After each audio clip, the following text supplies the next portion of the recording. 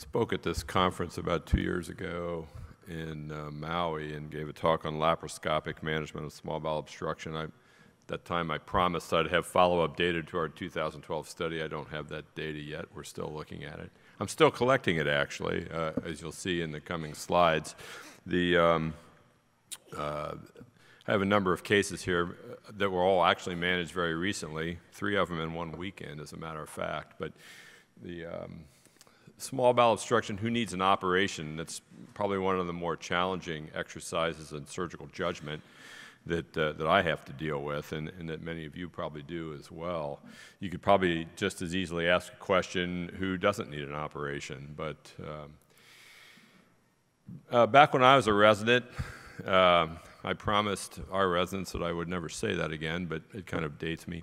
Never let the sun rise or set on a small bowel obstruction. I, I have no idea where this quote originated. Uh, all of the literature that quotes this uh, doesn't reference it. So I'm not sure who said it. If you know who said it, please see me afterwards so that I can uh, fill in that little bit of data.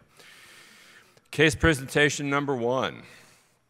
40-year-old female uh, previously had a three-stage procedure for ulcerative colitis in 2009. It was performed laparoscopic, had a proctocolectomy, ileal pouch anal anastomosis, and a uh, subsequent ileostomy closure.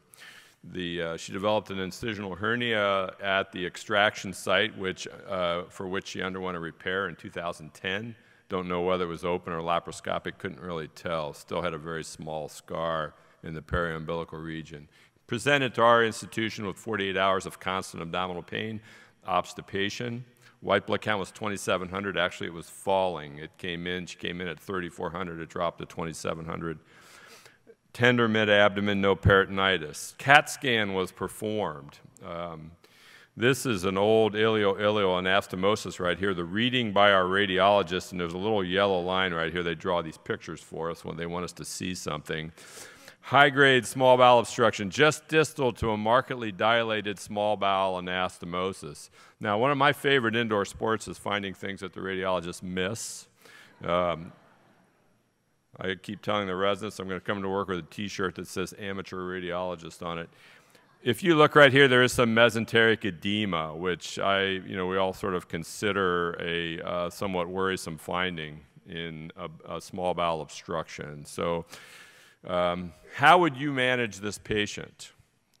Number one, nasogastric suction, hydration, observation, immediate exploratory laparotomy, laparoscopy, lysis of adhesions, convert